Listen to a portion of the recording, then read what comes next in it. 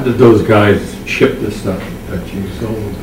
Did they put it in a container? or Oh, they- freight it? Yeah, it would have Yeah, been nine yeah. pallets and then a container. Yeah, They had to go through customs that went on a ship.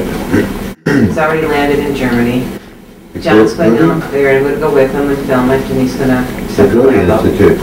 Go be, Then I had some previous uh, folks that were involved with me in eighty-nine. They're all intermingled there, and it's Dr. Ludwig who's out a year to, a couple years prior filming it, all these weird little, they, they- they're quite interested in purchasing it. and and some of John's original lab that didn't get seized by the Canadian government is in Germany or Austria, so we're gonna go hunt that down, as well as notes from Dr. Peter Kukoschnik. and- Peter Kushnick, right? my guess is none of that's any good unless John is playing it, playing that Well, that's kind of, yeah. There were, he'll, he'll set it up and he'll hook it up, but John knows the combination, the harmonics that's necessary. So it's gonna be real fun watching progress of that. Um, You might know, or heard this one, and don't give a hoot about it, stop me. But they talked to me a little bit about helping with the theory. Well, I don't do theory, for one thing. And it's for sure that uh, they don't want to talk about paying me to do it. Who's they and, The Germans that purchased the thing, they were. Oh, they the guy- contacted you? The guy that was boxing the stuff up. Timo, He was uh, at least writing an email every now and then about what could be done. But the guys that were supposed to be the power behind that uh, stayed behind that once I started to respond the way I did. And that is, I know a lot about the field, I know the field that- that's really at the basis of this all. And uh, I'd be happy to teach you as much as I know about that. But I put it in certain phraseology that implied you're gonna have to pay for the teaching. right, And that right, really turns them off, I think. right. Whatever, I don't care.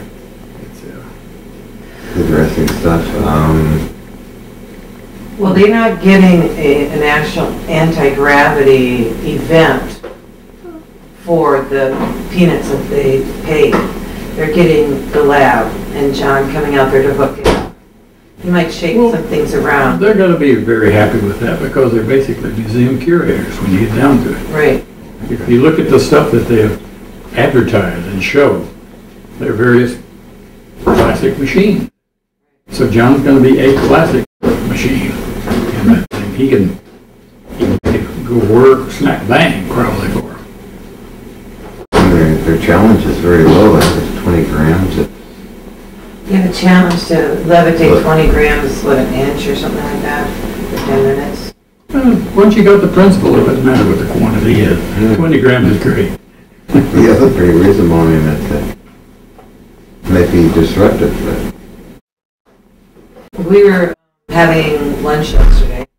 There's a bunch of bumblebees on the flat pot next to John. He was watching and I was watching him and a lot of people ask, you know, what I know about the anti-gravity and John said everything's frequency. You change the frequency and you change the gravity. I looked at this bumblebee each time they come on the flower, flower would go down as he's in around in there.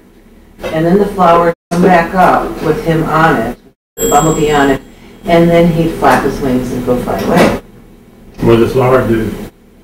The flower would, the bee would come to the flower, here's the bee, comes to the flower, Here we go down. flower drops down, wings aren't flapping, okay, wings are not flapping, wings are not flapping, wings are flapping, And the flower stayed in the same place. that's right.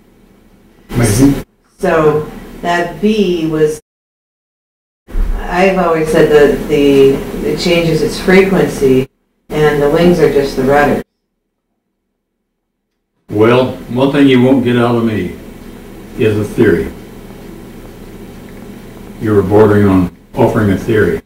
You were just started at the outer shell of a theory offer. You would eventually build it into a theory. Many would. Uh, I can't get into it. Everything I do, I have to take out the measurements that I make. Doesn't it matter a dang what other people say or do. Oddly enough, can't use it. It would be fascinating if there's some way you, we could have um, had some kind of listening device on that bee and to see what its frequency was when it hit the, when it hit the flower, and the flower drops down from the way the bee and then if it changes as it comes back up, frequency. My guess is that it does, but we have to verify it. See, the way I look at it is that that frequency really is only a minor part of a much more complex system if you're talking about interaction with gravity. So it's not the frequency only, it's the way it interacts with this, that, and the other dang thing. It's a total ensemble of events Yeah. that, that does anything of value. And it's darn hard to find them all, I'll tell you. What hooks to what? It soon becomes just a question of connectivity, you know, coupling coefficients. Who, owns this piece? Well, that's mine. No, it's not, it's mine, you know. And, and these kind of squabbles undoubtedly, uh, have to occur in any complex process like that. So I just hear them, I get tired of hearing them because I can't do a thing about it. You know, politics is the same. I hear them jabbering politics left and right. I can't listen because I can't do anything. Without being able to be functional, the heck with it, you know. Wasting your time. So that's my opinion on lots of things. It goes right to the heart of what I work on. I don't read about things unless they bear on my business. I don't talk to people about things unless it bears on my business. I am selfish to the nth degree. What's your business? Getting at the root of the very thing that seems to propel John's work. I play with things called EVOs, What is an EVO? an exotic vacuum object. It's a thing, because you can certainly see it, fool with it, mess with it, it do things, it does things for you. So it's a thing for sure, object. An exotic vacuum actually is a real world word. It's, it's a state of the universe, I'd call it, because the vacuum is uh, this substrate that everything is performed on in principle. You know, but Now, principle is theory. this is theory, and, and I'm bordering on it, and I'm stopping. But I wanted to introduce you to the interface that I have to, to play with. I can play with these things, I can make them, I can make all kinds of stuff. And over the years, very slowly, I've been getting at the root of the stuff that John saw early on. I haven't followed anything recent. I don't think I could gain by it much, because there was enough done very early on that I, I can still spend years on, you know. But I don't actually work on it. I just keep chugging down my path, and every now and then I say, oh, now I understand how that thing that John did could have happened. Like, on the subject of uh, gravity. I don't give a hoot about gravity, as long as there's a source of propulsion. Propulsion is a, as fundamental as you can get. It's controllable gravity, directional control over whatever force you want. I'm sure if you could liken it to gravity, but I, I'll take propulsion any day. Well, our- our bodies are continual propulsion, and I think we're, we actually. We just happen to be neu- neutralized out pretty much. Well, right, but I mean, it would, otherwise we'd be blobs on the floor if we're not, if we didn't have such propulsion in our bodies. If you want to call that gravity, fine. I'll tell you, I can see the propulsion aspect of it. But we're also, we're not quite, we're not quite right as far as our, this body isn't quite right for this gravity or this earth because we have knees that break down and backs that break down because of gravity. Mmm, that's a biological failing in my book. Mm-hmm. Gravity is a constant. Happens to bear on these machines. These we are. machines that we are, right. And uh, we're just not up to it that much of the time. So Now we're getting into politics, almost. Why do you think our bodies break down? Um, My opinion is that we are a- an evolved species. In order to improve, we keep changing, keep testing, we keep evolving. Some examples, win and go on and do better things in certain ways, worse than others perhaps. It's not that my body is bad, it's got a lot of good going on, but that little piece that seemed to break never was quite right.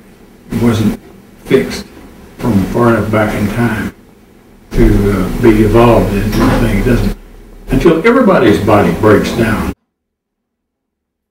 We have a uh, condition, we have a condition of uh, specialty failure, if you will. We just didn't evolve quite right. I, Very interesting. I, I can't, uh, I'm not very happy with the system. Uh, you know, if you look at our prices that we pay for living long, it's it's huge. We'd be locked into this mess that we are. We are a mess. We're going to, in time, evolve into something better. But to get there, we're gonna have to have failure after failure after failure. We'll be better in some areas, worse in others. But on the average, we'll move on. Like, our hearing is bad, our smelling is bad. All of our nice animal features have been traded off for something else. Explain why you think that way. Why have our animal features been traded off? They're not necessary. And there are limited variations that we can afford to carry forward in our evolutionary process. We can't fix everything and move it all forward. Some stuff is left behind. So we left the animal things behind because they weren't necessary. We've, we've evolved a, a mental process, a thinking process. Uh, we are able to view a scene and make determinations about what's going to happen. Boy, that's pretty good. It's not exactly uh, what you call precognition, but it's darn useful, What about those that have precognition? or not. I don't know. That's an argumentative field. I used to work in it. I did a lot of ESP type stuff. And I just got sick of hearing these stories people would tell, with no way to back them up at all. They didn't. I uh, gave up the field and said, until a Hewlett Packard electronic comes out with a meter that says psychic strength, you know, I'm out of it. But this is work I'm doing, is beginning to show me that there is something funny going on here. Because I can measure the funniest stuff you'd ever want to hear about. Like what things do you measure? I measure the presence, if you will, measured in terms of total accumulated charge or total residual charge of this EVO. They vary. Well, nothing varies charge or mass. These things do. That is so fundamentally opposed to all natural laws, that natural meaning man-made, that we've written down, that uh, it's outrageous. We have the written law says this, charge is conserved, mass is conserved, energy is conserved, E is equal to mc squared, they're all hitched together. Wrong, just dead wrong. Because I take one of these little funny particles and change its charge. By actual measurement, I mean, this is no hand-waving thing. Measure it with an instrument, do it every day you want to. You can change it over a billion to one, and still have it visible.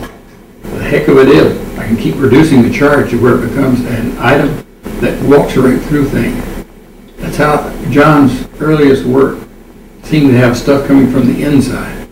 He had been using a technique similar to what I used of injecting these chargeless particles into the core of material. Usually metal in John's case. Seemed to be fascinated with it. It doesn't much matter. Anything serves as a, as a uh, transport medium, if you will, for these things. Once they get in, they can transform themselves back into an energetic thing, just mean and nasty as can be, by increasing the charge. And at that point, they come out mad. They have many pictures of John's stuff that I've got that shows them coming out. I never used to understand how they get in there.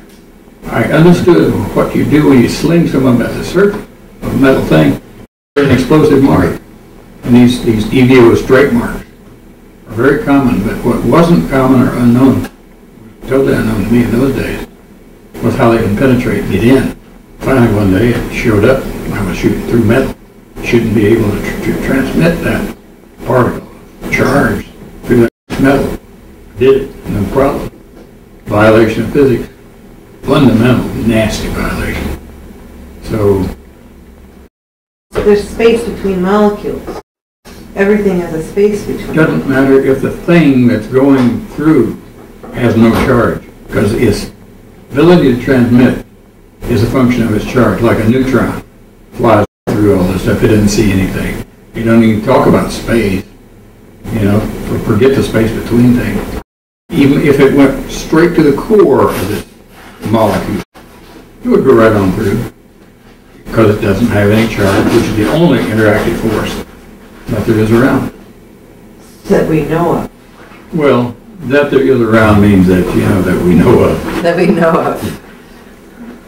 Interesting. No, I've been always fascinated with Ken's work and seeing the incredible photographs that you take of the EVOs. You know, my, my former partner there, George, is, I think he's on the wrong track with all this stuff. The photographs are really, really amazing to look at. EVO is something in a vacuum, an object in a vacuum. An Exotic vacuum object. We were talking about what is the exotic vacuum, forgetting the gizmo, the object that I play with. There is a definition of the exotic vacuum. The vacuum, you realize, is a physics term. The vacuum is not a vacuum. It doesn't mean that you've removed all the molecules. It means it's the substrate that all our visible universe, all our active universe is built upon. The vacuum. And that's a This theory, was the origin of the notion of zero-point energy. a theory.